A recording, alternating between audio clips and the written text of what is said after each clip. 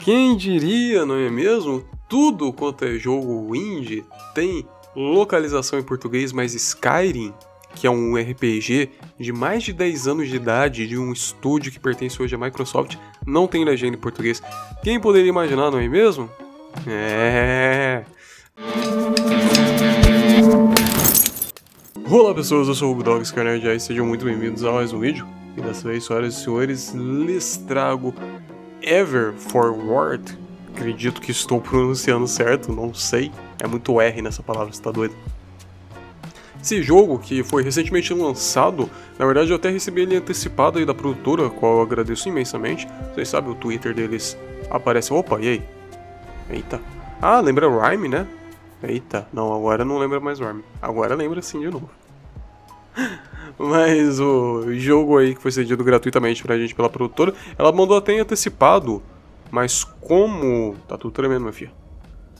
Mas como ele tinha um embargo, que eu acho que era do dia 8, eu falei, ah, mano, quer saber? Eu não me dou bem com esses lances de embargo, prefiro deixar passar. E aí, obviamente, já passou, já estamos no dia 14, e aí o embargo já acabou. Estou jogando aqui na versão do PlayStation 4, esse jogo tem para outras plataformas também. E ele é um puzzle, um puzzle game. Eu achei ele bem interessante o visual dele. E tô aqui para conferir um pouquinho com os senhores. Tá, lembra muito Rhyme já, nessa praia. Não é que é complicado, né? Até uma praia já me lembra Rhyme. Bom, beleza. E começou. Deixa essa menininha. Ali tem um quadrado. Beleza. Eu corro. Eu pulo. Eu não dou choco. Eu faço mais do que? Eu só corro, né? Então vai, minha querida. Corre aí. Mas então, esse título aqui que eu achei bem interessante ali, a arte dele, né? A proposta de puzzles games ali sempre me atrai bastante, porque é um tipo de jogo ali que eu gosto de jogar sem muita preocupação, sabe? Puzzle game ali, ele me encanta pelo fato de eu poder jogar ele a qualquer momento. Posso tirar 10 minutinhos ali, 15 minutinhos e simplesmente jogar algum joguinho de puzzle ali, que é pra me divertir na maioria das vezes, né? Fora The Witness. The Witness é muito complicado para mim, cara. Sem brincadeira, eu não consigo jogar The Witness, não. Ok. Tá, não entendi não. Hum, fomos teleportados.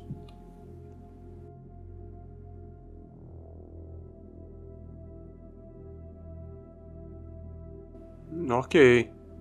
O jogo simplesmente começou aqui, cara. Ele tava no menu, aí falando para apertar qualquer botão para começar. Agora o quadrado tá me seguindo. Virou meio que Nier, Autômata. E tô indo pra lá. Pula, minha filha. Pula. Ah, é, o quadrado entra no bagulho. Beleza, watch out! Ah, my automatically move more quietly. Ok. Beleza. Tá falando aí que a Maia se movimenta automaticamente de forma mais silenciosa quando ela está perto de robôs de ronda.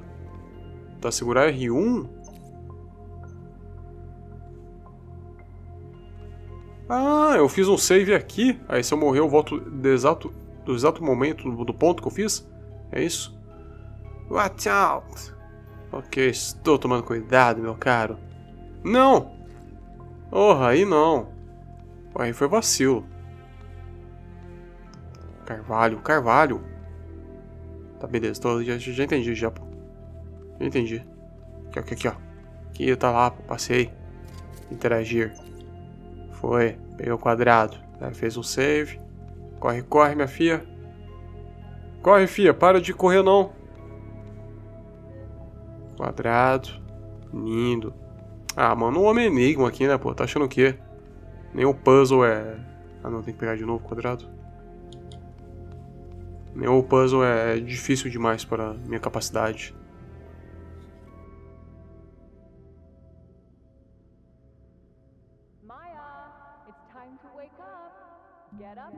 Maia, é hora de acordar. Você está dormindo muito. Não sei, sleep hard. Não sei o que seria. o jogo não está em português, infelizmente. Na verdade, eu não vi isso, né? Porque não tinha um menuzinho ali no começo. Espanhol, francês, italiano, português, olha isso, mano. Quem diria, não é mesmo? Tudo quanto é jogo indie tem localização em português, mas Skyrim, que é um RPG de mais de 10 anos de idade de um estúdio que pertence hoje à Microsoft, não tem legenda em português. Quem poderia imaginar, não é mesmo? É. Temos até dublagens diferentes, tem, dá pra deixar chinês aqui? Não, vou deixar inglês. Beleza. Olha isso, mano, tá em português, cara. Eu, eu... É realmente triste, tá ligado? O desrespeito que algumas empresas grandes têm com o público brasileiro, mano. Você vê o tanto de jogo indie que tem localização em português, tá ligado? Um jogo, tipo, minúsculo.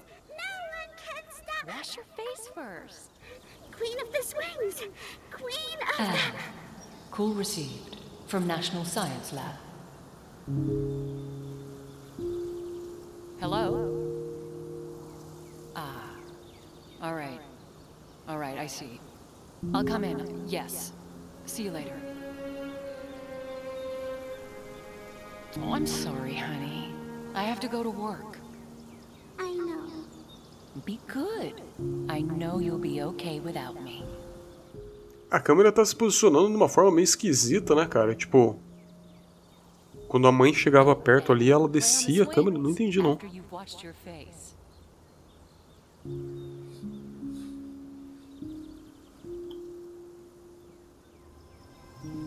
Ele me lembra muito Papoyô. Vocês lembram de Papoyô? Tá me lembrando esse feelingzinho. Papoyô é um título do PlayStation 3. Joguei ele muito, ele é muito bom.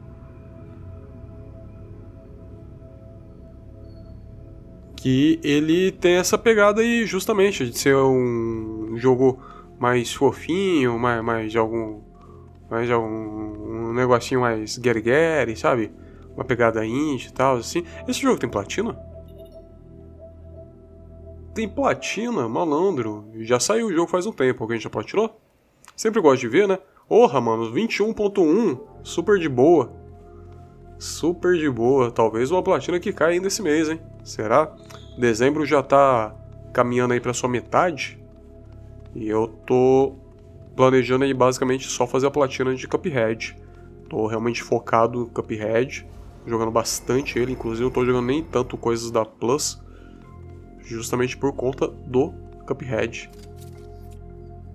E não sei se eu vou conseguir nem fazer essa platina aqui do Cuphead, porque ela é muito difícil.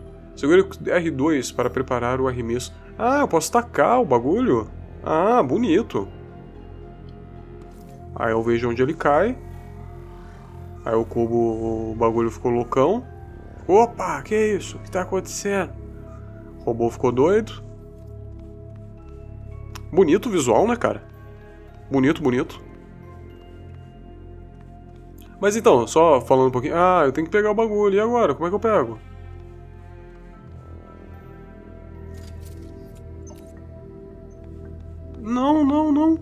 Oh, foi.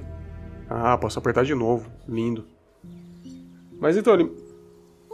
Ele me lembra muito o Papuyô, justamente por essa pegada mais próxima ali de, de, de contos de família, né, e tal, que parece ali meio bobinho, mas no fundo você está chorando. Não tanto quanto Brothers, porque Brothers é sacanagem, cara. Nossa, mano, Brothers é... Porra, tio do céu. I know. I'm sorry, but I know you'll be okay without me. Okay.